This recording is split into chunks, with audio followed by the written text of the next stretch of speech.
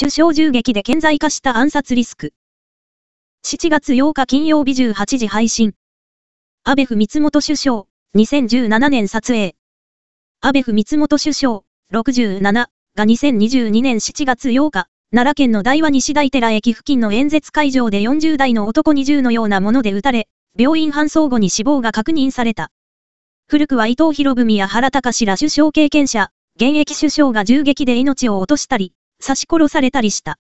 64人いる歴代首相のうち、襲撃を受けて死亡したのは安倍氏で7人目。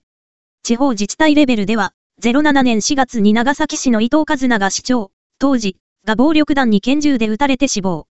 政治家が直面するリスクの高さが改めて顕在化した。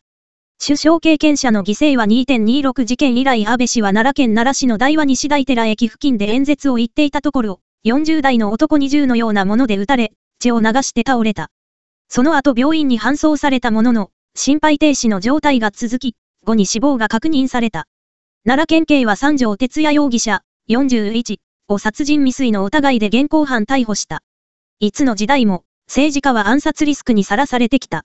現役首相で言えば、平民宰相として知られる原隆第19代は、1921年11月4日に東京駅で、当時大塚駅の職員だった中岡牛虎一に担当で刺し殺された。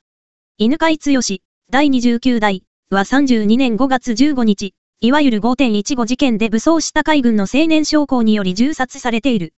ライオン宰相として知られた浜口を幸、第27代は30年11月14日、東京駅で右翼活動家に銃撃されて負傷。療養を続けたが容体は回復せず、31年4月13日に首相を辞任。8月26日に死去した。首相経験者では、伊藤博文、初代が09年10月26日にハルビン駅で韓国の民族主義運家、アンジューネに狙撃されて暗殺されている。高橋コレキヨ、第20代、斎藤実、第30代は、1936年2月26日の2.26事件で青年将校に暗殺されている。政治家に対する暴力は決して昔話ではない。2022年だけでも、立憲民主党の福山哲夫参院議員が5月2日、京都市内で街頭活動中に男に暴行を受けた。7月6日には、同党の辻元清美氏が東京事務所のベランダに生卵を投げつけられたとツイッターで訴えている。記事に関する報告。この記事はいかがでしたか？リアクションで支援しよう。356。